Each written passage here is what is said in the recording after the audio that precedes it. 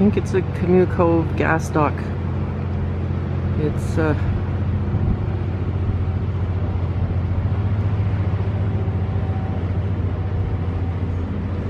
I don't know how the firemen are gonna get to it.